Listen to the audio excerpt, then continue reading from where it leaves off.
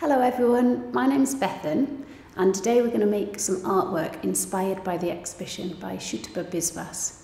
Now when Shutaba was a little girl she made a long voyage across the sea to the UK and that story, that voyage has inspired lots of her artwork and she tells stories of migration and travel and identity. So we're going to look at two of her artworks today, one called Lumen which means unit of light and that tells stories of migration and movement and colonisation. And we're also going to look at Time Flies. So Time Flies is a series of paintings of birds from around the world, and we're using that as inspiration to make our own shadow puppets.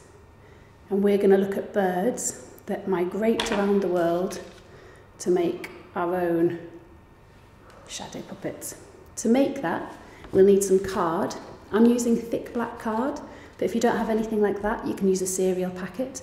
You need something with a bit of strength to it. You'll need some scissors, a pencil, some coloured bits of paper, that's for decorating, for making a really snazzy shadow puppet, some Pritt stick, and then to hold your puppet, the sort of handle, you'll need a stick or a straw. So these are some paper straws, or you can use a stick you can even use a pencil if you don't, just something to hold it to help move and make it fly. So I'll set us off and I'll show you what we're going to do. So the first thing you're going to do is you're going to draw your bird. And you might want to think about what bird you want to draw. So I'm going to do a swallow, which is this bird and this bird. And swallows are amazing little birds that fly from the UK all the way to Africa every single year. So they come here to nest and raise their young and at the end of summer they fly all the way back. And I've chosen them for because of their story, but also because they've got things like they've got long forked tails and they've got this little splodge of red and that makes them really stand out.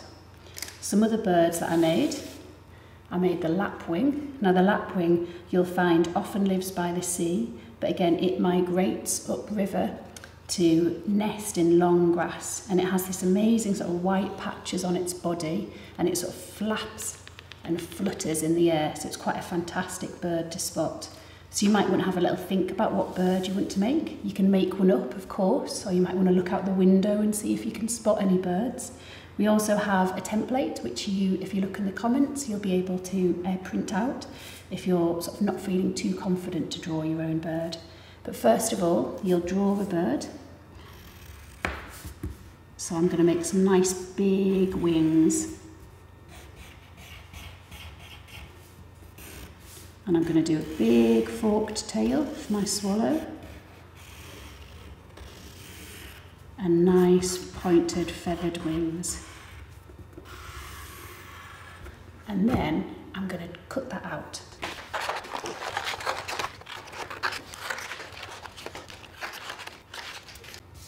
So now I've cut that out, you see that I've got a really nice bold bird shape. And that's why using the black card is really nice because you've got some a really good base to start with.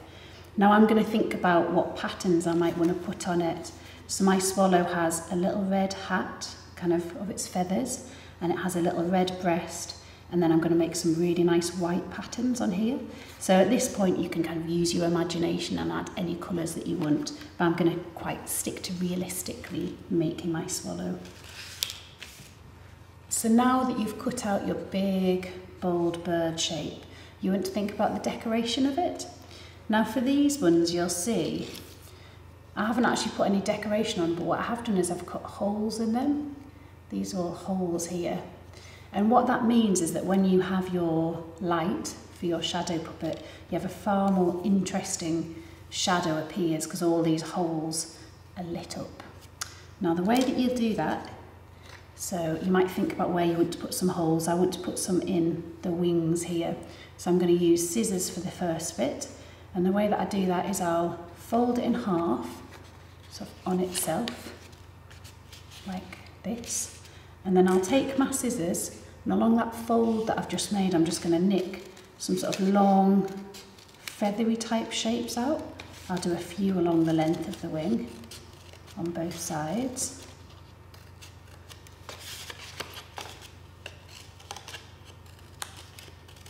And you can do as many of these as you like. It looks really great if you have lots of holes in, I think. So I've got these kinds of holes appearing there. Also, if you've got an adult who's confident in showing you how to use a craft knife, that's how I make a lot of my work with this knife here. So you would use a cutting board and you can cut some lines in, but of course only use one of those if you're with an adult who's confident to show you how to use one.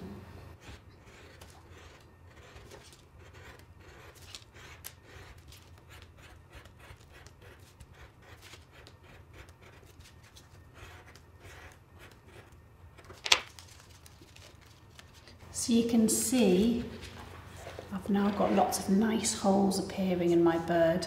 I used a knife then for these little bits, but you can use scissors, they're just as good. So you get some really gorgeous sort of holes in your shadow puppet. And now I'm going to decorate it. You might want to decorate both sides, like this one. This sort of eagle has got, so depending on which way you flip it, you can always see its gorgeous orange colours. And I'm going to make lots and lots of wing feathers to go along here. Now what I can do is if I get a piece of paper, I'm going to fold it a few times on itself. So that's sort of folded about four times. And then I'm just going to cut into that. And because I've folded it in half, you'll see I get lots and lots and lots of feathers appearing so I can start decorating them. So I'm going to add some white and some red and some lots of feathers on my swallow.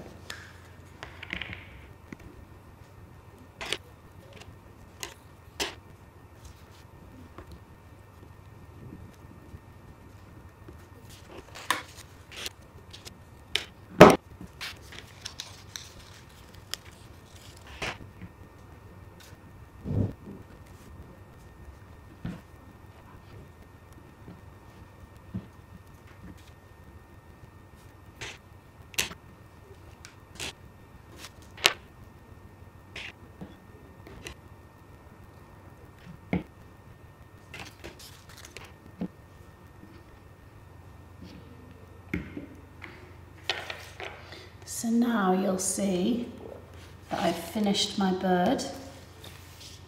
I've got its bright red cheeky bit. I've got these gorgeous holes for feathers. I've got some nice bold white bits and I've also added a bit of blue because a uh, swallow is a sort of blacky blue colour. And now I need to think lastly where I'm going to put my straw. Now this you might need to play around with. Sometimes you might want to have it coming from its tail, but it depends how you want it to move. I often like them coming along the wing, but you might want to think about where you want to position, how you want to hold it when you play with it. But I'm going to just use a bit of glue. You can also thread it through if you've got a stick.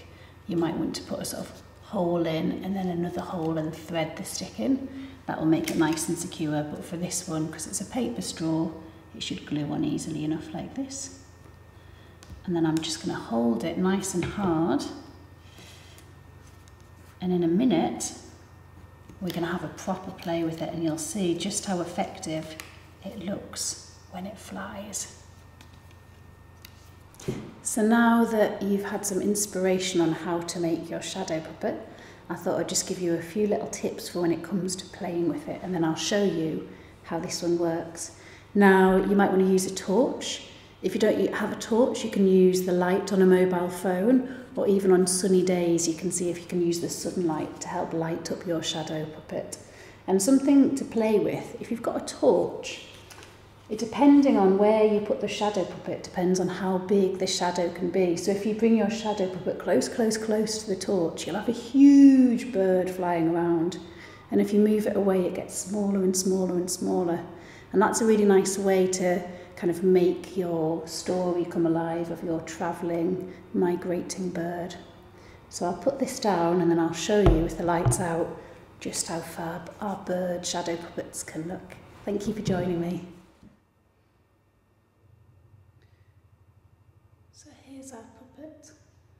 começado